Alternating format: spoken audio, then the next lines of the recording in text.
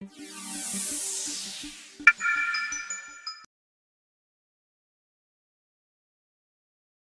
Prawo autorskie, jak pewnie Państwo świetnie wiedzą, e, i bibliotekarze i bibliotekarki mają z tym e, na co dzień e, bardzo dużo styczności, obejmuje prawie każdy utwór, który, który jest dostępny, który tworzymy, który ma jakiś charakter indywidualny i twórczy.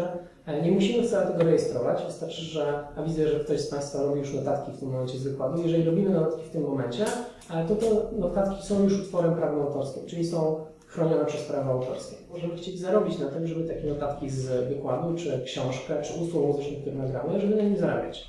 E, oczywiście nie zawsze musimy chcieć to zrobić. Jeżeli tego nie chcemy zrobić i takie notatki wrzucamy do sieci, e, na przykład na serwis, którego nazwą jest e, popularny Gryzoń, albo wrzucamy te notatki e, po prostu na jakiś dysk wspólny, e, czy do sieci po prostu i są dostępne przez wyszukiwarkę, osoba, która jest napotka w sieci, będzie miała problem, to znaczy nie będzie wiedziała, czy może z niej skorzystać, czy nie. Domyślnie prawo autorskie będzie wskazywało na to, że wszystko, co jest w sieci, wszystko, co jest dostępne łatwo w internecie, jest dokładnie tak samo chronione prawem autorskim, jak te rzeczy, za które tradycyjnie płacimy. Za książki, które trzeba kupić w księgarni, za gazetę, którą trzeba kupić codziennie w kiosku.